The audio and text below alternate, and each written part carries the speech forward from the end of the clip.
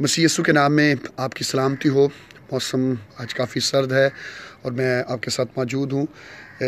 Daily devotional thought کے ساتھ اور آج کا جو ہمارا خیال ہے، جس پر ہم غور کریں گے، وہ یہ ہے کہ خداوند ہر چیز کی ابتدا کرتا ہے۔ پیدائش کی کتاب اور اس کا بارہواں باپ اور اس کی پہلی اور دوسری آیت خداوند کے کلام میں لکھا ہے، اور خداوند نے ابراہم سے کہا کہ تو اپنے وطن اور اپنے ناتے داروں کے بیچ میں سے اور اپنے باپ کے گھر سے نکل کر اس ملک میں جا جو میں تجھے دکھاؤں گا اور میں تجھے ایک بڑی قوم بناؤں گا اور برکت دوں گا اور تیرا نام سرفراز کروں گا، سو تو باعث سے برکت ہو۔ ہماری زندگیوں میں بڑی تبدیلیوں کی ابتدا ہماری اپنی طرف سے نہیں بلکہ خدا کی طرف سے ہوتی ہے۔ اور خداوند کے پاک کلام میں بھی جب ہم پڑھتے اور دیکھتے ہیں، تو ہمیں خداوند کے کلام میں اس بات کا ذکر ملتا ہے کہ خداوند نے جن لوگوں کو اپنے مقصد کے لیے استعمال کیا، وہ سب معمولی لوگ تھے۔ کوئی بہت بڑے بڑے لوگ نہیں، بلکہ عام لوگ تھے۔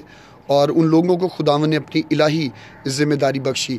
اگر ہم ابراہم پر غور کریں تو ابراہم ایک معمولی شخص تھا جس کو خداون نے چن لیا اور ایک بڑے اپنے مقصد کے لیے ایک بڑی قوم بنانے کے لیے اسے چنا اور خداون نے اس سے کہا کہ تو میرا حکم مان تو میں تجھے برکت دوں گا۔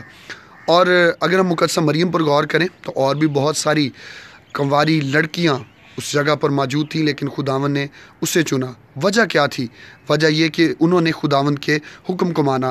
ابراہم نے حکم کو مانا اور اپنے باپ کے گھر میں سے نکل گیا۔ اور مقدسہ مریم نے بھی کہا کہ دیکھ، میں خداون کی بندی ہوں، میرے لیے تیرے کال کے موافق ہو۔